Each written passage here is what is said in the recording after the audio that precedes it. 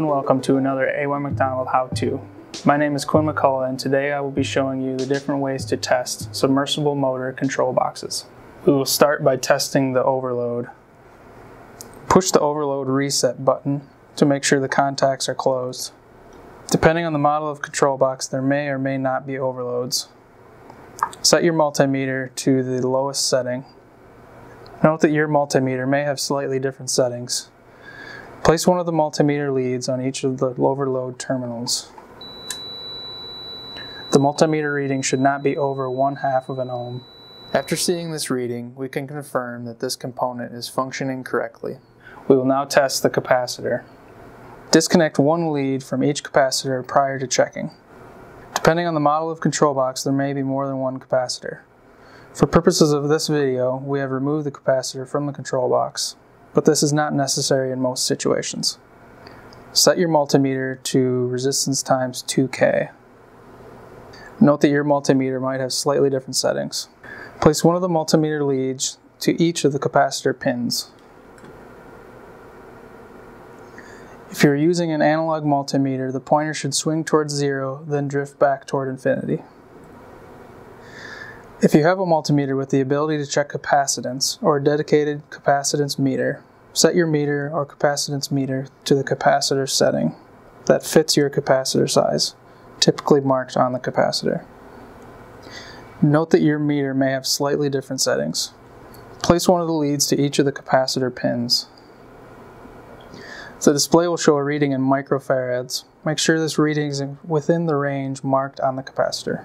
After seeing all three of these readings, we can confirm that this component is functioning correctly. We will now test the relay coil. Disconnect the lead from terminal 5 on the relay.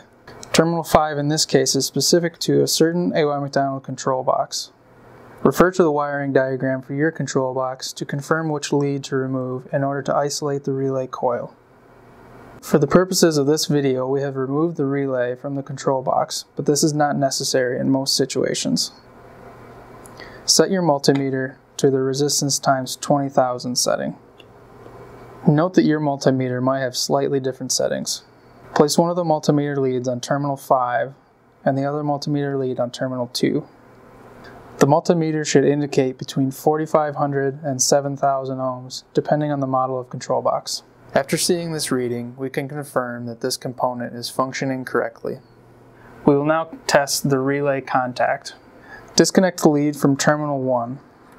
Terminal 1 in this case is specific to a certain AY McDonald control box. Refer to the wiring diagram for your control box to confirm which lead to remove in order to isolate the relay contact. For the purposes of this video, we have removed the relay from the control box, but this is not necessary in most situations. Set your multimeter to the lowest setting. Note that your multimeter might have slightly different settings.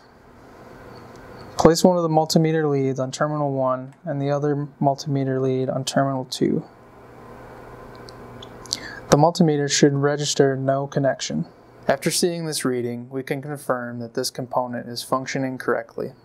We will now test the magnetic contactor. Disconnect one of the coil leads. In this case, we are using an AY McDonald control box, and the coil leads are the middle two leads. Refer to the wiring diagram for your control box to confirm which lead to remove in order to isolate the magnetic contactor. Set your multimeter to the resistance times 2K setting. Note that your multimeter might have slightly different settings. For the purposes of this video, we have removed the contactor from the control box, but this is not necessary in most situations. Place one of the multimeter leads on one side of the coil and place the other lead on the other side of the coil. The multimeter should indicate between 1000 and 1400 ohms, depending on the model of control box. After seeing this reading, we can confirm that this component is functioning correctly.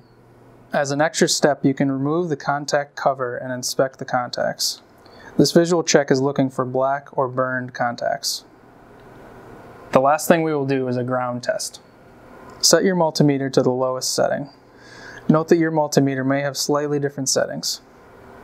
Place one of the multimeter leads on a ground lug and touch the other multimeter leads to each individual component.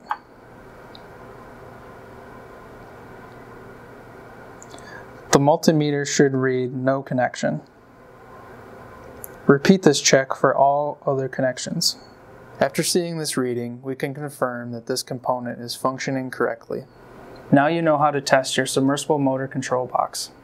Again, my name is Quinn McCullough, and thank you for watching this AY McDonald how-to. Still have questions? Give us a call at 1-800-AY-CARES. Stay connected with us on YouTube, Facebook, Pinterest, Instagram, and Twitter.